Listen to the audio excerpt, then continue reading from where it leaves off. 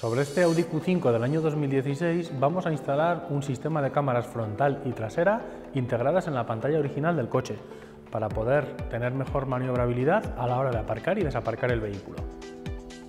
En este caso, la cámara frontal queda ubicada debajo del logo de Audi y la cámara trasera sustituye el pulsador original de apertura del maletero por uno nuevo con la cámara integrada.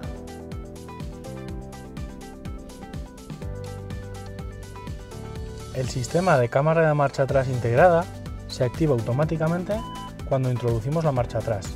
Nos brinda una imagen gran angular con líneas de guiado dinámicas. Estas se mueven indicando hacia dónde va a ir la trayectoria del vehículo.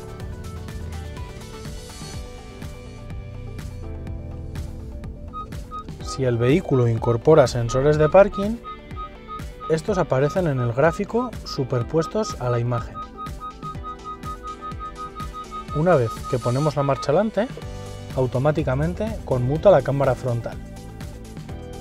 Esta desaparecerá cuando el vehículo alcance los 15 km por hora, al igual que el sistema de parking original.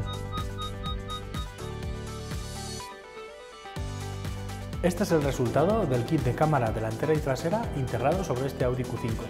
Si quieres tener el mismo equipamiento en tu vehículo, consúltanos.